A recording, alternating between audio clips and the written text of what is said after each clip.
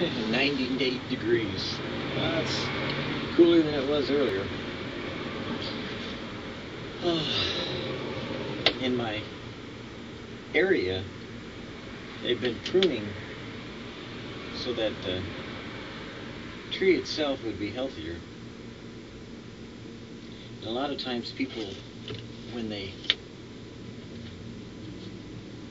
see pruning going on, they don't really understand that it's for the best interest of the plant.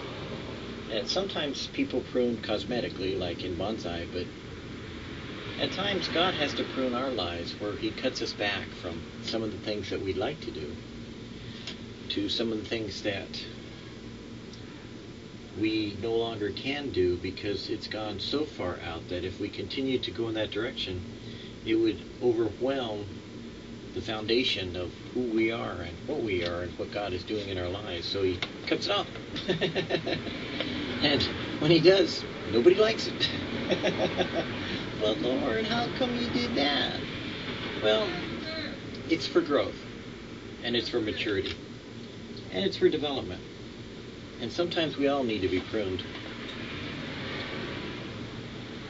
He hath made me a polished shaft, Isaiah 49 2.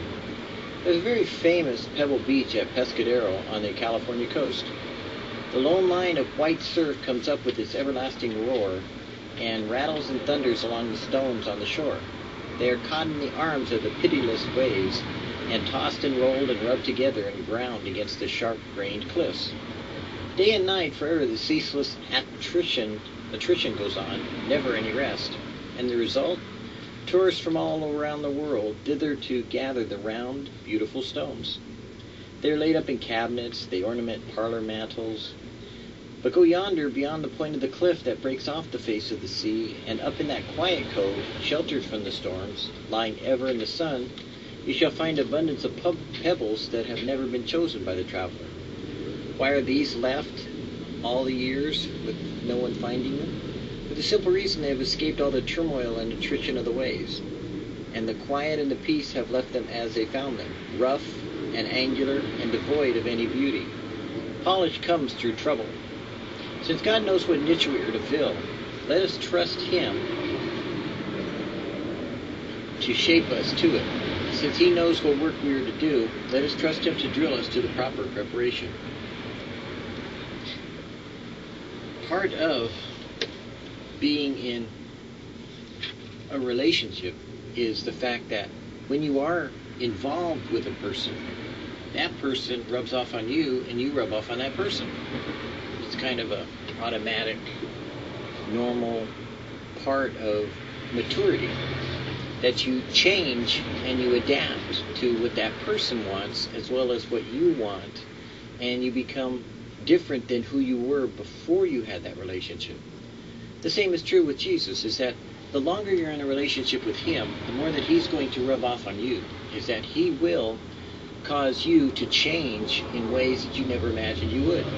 You become less sharp, less bitter, less anger, less provocable, because His nature becomes infused in yours, and as it works from the inside out, likewise, God works on it from the outside in by bringing in circumstances and situations that cause you to develop and mature.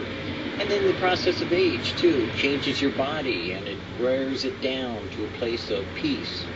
And sometimes age where you no longer can automatically react in a quick and affronting manner, but that your maturity and your physical limitations bring you to a place of where God would have you to be so that you're ready for what He would do. And in ministry, that's the way it works. There are a lot of people out there that, you know, they're young and they're wonderful and they're exciting to see and sometimes look so great.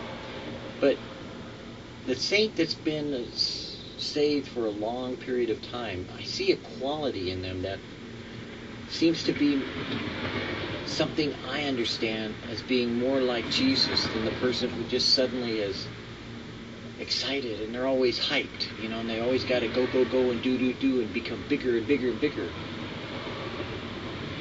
Which is good for them. For me, sometimes I like to sit back, look around, and see how far God has brought me, and how far God is taking you, and how far we have yet to go, and how little time left, because I'm excited by the fact that Jesus is coming soon. Because that means my pruning and my changing and developing is almost done. He's almost completed the work in me, and though I feel far, far from perfect, I do recognize that when he gets here, it will be a quick transformation. So, even so, come, Lord Jesus, because I can't wait. Can you?